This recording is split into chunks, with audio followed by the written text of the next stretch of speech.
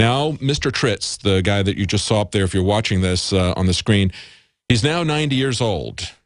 And as he was being interviewed, he said, It isn't so good up here, he said as he pointed to his head, tapped his head. The VA's use of lobotomy, in which doctors severed connections between parts of the brain that were then thought to control emotion, was known in medical circles in the late 1940s and early 1950s, is occasionally cited in medical texts, but the VA's practices were never publicized. They were long ago pulled out of the public's view. Now, here's what he underwent before they gave him the lobotomy. He underwent 28 rounds of electroshock therapy. And they point out in the article this is a common treatment that sometimes caused convulsions that were so jarring that they broke patients' bones. Can you imagine that? This poor fellow had spent three years in a Japanese prisoner of war camp. He was so physically and psychologically damaged by that that they put him in a hospital. And this is what our government did to this fellow who fought for them when he came back. You talk about betrayal, about a World War II vets, about Captain America, that type of thing. And we're going to talk about the super soldier thing coming up here. But they gave him electroshock therapy that sometimes caused convulsions so bad that it broke patients' bones. Then, to stimulate patients' nerves, hospital staff also commonly sprayed veterans with powerful jets of alternating hot and cold water, show the archives. This particular fellow, Mr. Tritz, got 66 treatments of high pressure water sprays that they called the Scotch douche and the needle shower. His medical records show that. Now, that's what they did to veterans back then. And of course, this is, uh, they also have story of many, many veterans and things that happened to them. What are they doing today? Well, today they're giving them SSRI drugs, and the SSRI drugs do the same thing to veterans that they do to people who are not in the military. They make them suicidal. They exacerbate, in many cases, the medical conditions that they're trying to treat. They make people suicidal. They make them homicidal. They have them sleepwalking where they don't know what they're doing. And they take actions that they are not aware of. Where are we going with this?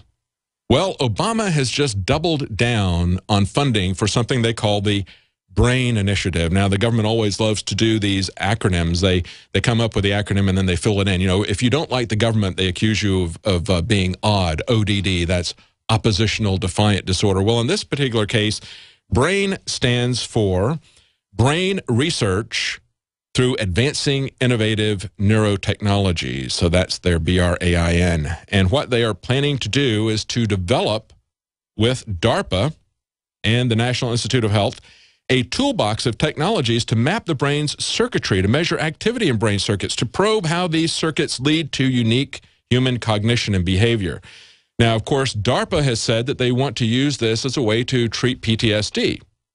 They believe that they can go in and selectively delete memories, that they can go in and give you memories that did not previously exist. And this is the stuff that we have seen before in science fiction, isn't it?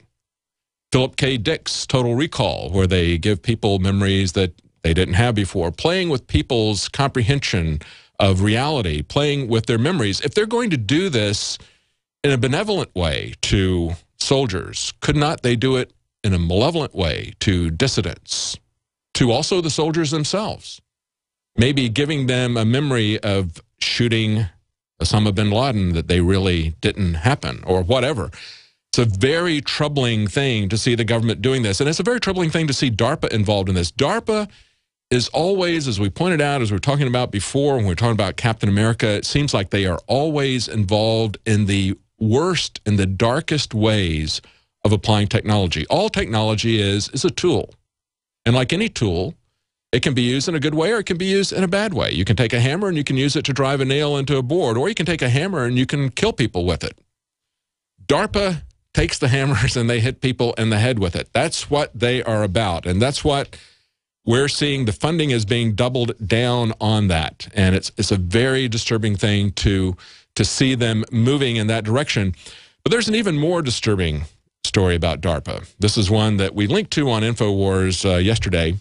It's actually a story from a, a, place called IO9, and they talk about DARPA's new biotech division wants to create a transhuman future. I'm going to have to return with that right after the break. But, you know, we've talked about how frightening these robots that we see DARPA developing are. We see them developing robots that can run faster than humans. And we see them developing robots that can uh, uh, do things with superhuman strength, but they're looking to create flesh and blood robots. That's the most disturbing thing, and we're going to have that information right after the break. How can you save a ton of money and prepare for emergencies?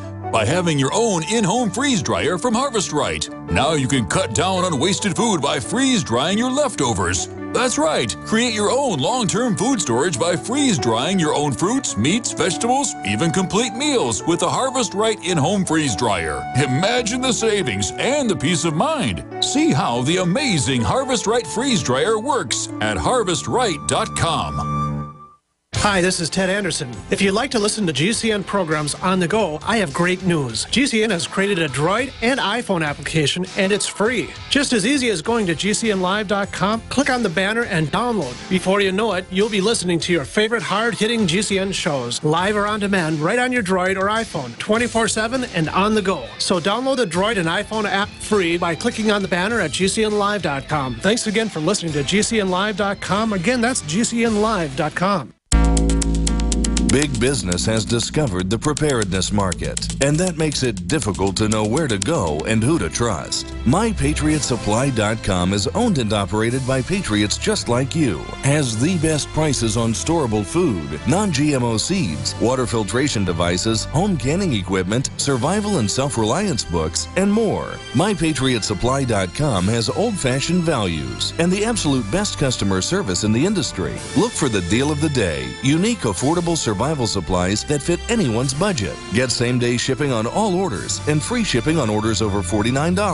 Call 866 229 0927. 866 229 0927. Or visit mypatriotsupply.com for emergency preparedness, self reliance, and food independence. Shop with a name you know and a name you can trust. Before it's time to survive, it's time to prepare. MyPatriotSupply.com.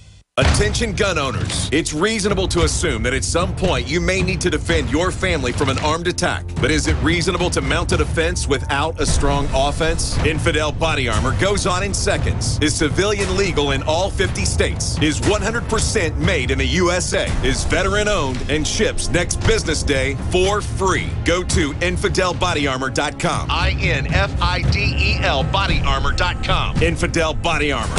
Just won't quit. Silver has always been nature's very own antibiotic, and only one system allows you to generate an endless supply of natural silver solutions. Silverlungs.com. You'll find no wild claims or pseudoscience, just a lifetime of nano-sized pure silver solutions. The Silver Lungs generator allows you to make your own, so stop paying for silver solutions. The unique lung delivery system targets respiratory infections where other silver solutions simply cannot reach. See the Silver Lungs generator and lung delivery system at silverlungs.com. That's silverlungs.com.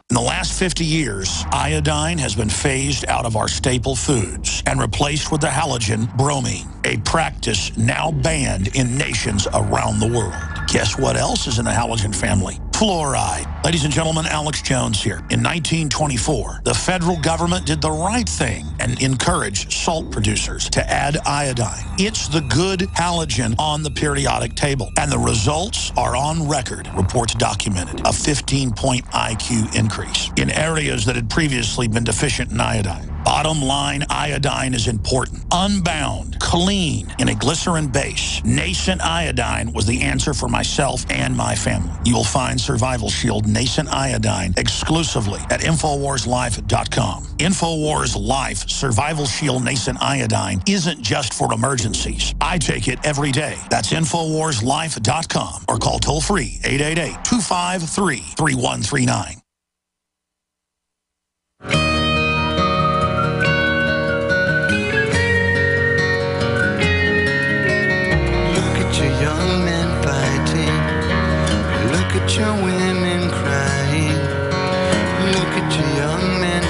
Welcome back to the Alex Jones Show. I'm David Knight. I'll be your host today, but we're going to be joined at the bottom of the hour with Alex Jones' special report on climate change. So stay tuned. Don't miss that. Now, just before the break, we were talking about the sad history of the American VA Association, uh, the, the Veterans Administration, and the way they treated returning World War II vets, giving many of the ones who had the the greatest problems, giving them shock treatment, violent shock treatment, hitting them with hot and cold jets of water, and then ultimately giving them lobotomies. What are they doing today? They're doing that in a much more subtle, much more high tech way. They're doing it with SSRI drugs, and they're doing that to a lot of people in society. And so we should look very carefully at future treatments that they're planning. And of course, DARPA is looking to, as they say, they're doing brain research because they just want to help us. They just want to help soldiers who have PTSD. And so they're going to selectively be able to remove memories or to implant new memories of things that you never did. That's what DARPA is trying to do. And they're trying to do a lot besides that. We've reported, and, and we just showed you a picture up there if you're watching, a picture of the robots that are being developed by DARPA. And of course, when they develop these robots, they say, well, this is all so that we can use them to help in the Fukushima disaster. Well, if they're so concerned about the Fukushima disaster, then maybe the Defense Department shouldn't have sent the soldier, the sailors on the USS Reagan into dangerous territory and left them there for a couple of days. There's a mass of soldiers, just a, I guess it's been three years now, that are coming down with cancer already because of that treatment. But of course, the robots are not there to attack you. It's not part of some new kind of um, real world realization of Terminator. No, they're there to protect us all from Fukushima. And the new super soldiers that they're creating and the uh, brain projects where they want to remove some memories and selectively implant others, that's not going to be used against dissidents. That's not going to be used against the general population. That's just to help some selected soldiers who have to, who are, who are struggling with PTSD. And of course, there is a massive brain research project that's being conducted uh, internationally and just in the U.S. It's called the Brain Initiative, and Obama just doubled the funding for that. But as we were going to break, I was just starting to talk about this article that was linked on InfoWars, DARPA's new biotech division wants to create a transhuman future. Yes, that's right. You think the super soldier program in Captain America is science fiction? It is much, much worse than that. Now, what they're talking about is basically making human robots. That's where it's all headed. But they point out, they put a nice spin on it in this report because this is kind of uh, the people who wrote this, even though they're giving you a lot of links, a lot of data, it's really kind of more of a sci-fi website, more of a popular science type of website. They're not going to question the ethics of what could be done. And that's what's really the problem. So often we have scientists who do not question the ethics of what they're going to be doing. We see a lot of movie themes where you have soldiers who were, or, or uh, police officers who were brought into some kind of a um, uh, criminal or operation that the government is doing or that criminal elements within the government are doing, and they don't, aren't really fully aware of how they're being used. Or you have uh, stories that talk about the false narratives that got us into the Iraq War and how soldiers there were just trying to do the right thing. They didn't realize how they were being used. But we have only had, as far as I know, recently, there's only been one movie, it's one of the Bourne movies, where you actually had a scientist kind of back off and, and question for a moment what they were doing. If you remember, there was a scene where, as uh, it was in the last uh, Bourne movie, uh, he's on the run and he's got the scientist who was part of the mental research. Again, it was a brain program. And he asks her about what the research that she was involved in. And, and she gets real excited talking about the technical details because it's really kind of an intellectual puzzle for her that she likes to solve. And then he's she grad he gradually brings her to the realization of the ethical consequences of what she's doing. So many times scientists don't look at that, but let's look at what they're actually talking about doing, just apart from the ethics here. It says that they're going to be dealing with everything from stopping plagues to building synthetic soldiers. Well, that's what they would like us to think. It says DARPA has been busy exploring the increasingly dynamic intersection of biology and physical sciences. That's a quote from DARPA uh, I guess you could say they're going to boldly go where no one with ethics would uh, would want to go. And uh, then they talk next about the transhuman soldier, advanced prosthetics featuring mind controlled limbs, neural interfaces, the ability to survive blood loss. And then we get